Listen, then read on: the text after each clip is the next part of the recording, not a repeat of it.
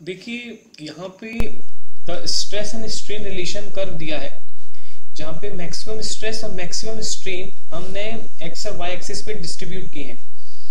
अब यहाँ पे जो मेनली है, अगर मैं बात करूँ कि what is the difference between stress and strain curve तो देखिए, अगर आप इसको फोकस करते हैं तो ये जो पॉइंट है, ये ये वाला पॉइंट इसको मैं अपर प्रोपोर्शनल लिमिट कहूँगा।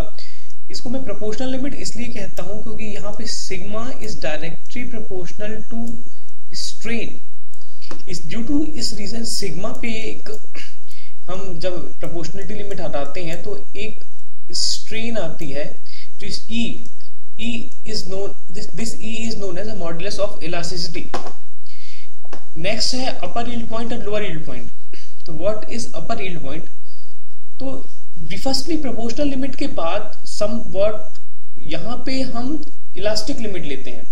मतलब यहाँ पे आफ्टर इलोंगेशन ये रिगेन कर सकता है। इसके बाद सर सर्टेन पोजीशन इस पोजीशन तक यहाँ पे आफ्टर प्लास्टिक डिफॉर्मेशन स्टार्ट हो जाता है। इसके बाद ये अगर if we applied stress further तो ये रिगेन नहीं कर पाता। यहाँ पे ये जो पॉइंट है और ये पॉइंट है point number one point number one and two these are upper yield point and lower yield point. Upper yield point basically ultimate yield limit. यहाँ पे अगर कोई मटेरियल डक्टाइल मटेरियल है तो वो यील्ड हो रहा है। तो यहाँ तक यील्ड होगा। मतलब यहाँ तक डिफ़ॉल्ट होगा। और लोअर यील्ड पॉइंट तो ये इसकी स्टेबिलिटी इसकी स्टेबिलिटी हो जाती है कि इसके बाद ये यील्ड नहीं हो पाएगा।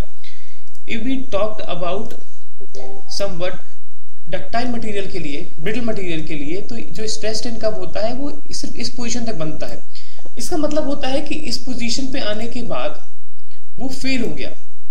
यहाँ पे अपर यील्ड पॉइंट में इसका फ्रैक्चर हो गया। These are the main reason for stress strain stress strain curve अगर मैं बात करूँ इलास्टोप्लास्टिक और elasto elasto electric elastoplastic material तो उनके लिए सिर्फ़ एक स्ट्रेस कर्व बनता है। ये डिफाइन नहीं होता कि वो किस पोजीशन पे जाता है। अगर मैं स्ट्रेस स्ट्रेन कर्व की बात करूँ तो ये जो पॉइंट होता है मेरा, ये वाला पॉइंट इसको मैं बेसिकली हाई स्ट्रेस पॉइंट कहता हूँ जस्ट जिस से कंसिडर एग्जांपल इफ़ द मोमबत्ती वाज इन डिप्ट मतलब चल रही है और जिस पॉइंट पे वो बुझने वाली होती है तो वहाँ पे बहुत ज़्यादा रोशनी उसकी आती है। तो सेम एज उस पॉइंट पे जहाँ पे टूटने वाला होता है, यहाँ पे ब्रेक होने की कंडीशन में होता है, उस कंडीशन में बहुत ज़्यादा अमाउंट ऑफ़ स्ट्रेस वो वेयर कर सकता है। इस पॉइंट इसी पॉइंट को हम मैक्सिमम स्ट्रेस पॉइंट कहते हैं।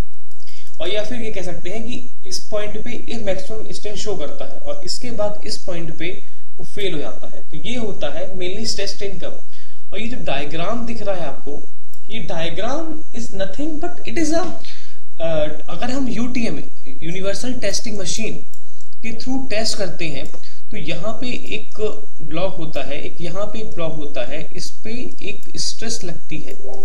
इस पे एक स्ट्रेस लगती है।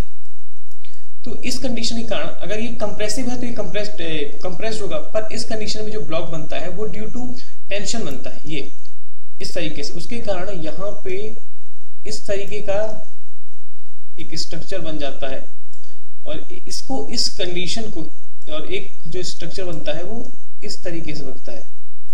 तो कप ऑन कोन फ्रैक्चर कहते हैं। इसीलिए जो डक्टाइल मटेरियल होता है कप ऑन कोन फ्रैक्चर होता है। ब्रेटल मटेरियल फेल होता है तो वो जस्ट इस तरीके से फेल हो जाता है। उसको कोई कप ऑन कोन फेलियर से फेल नहीं होता। It is a complete about strain strain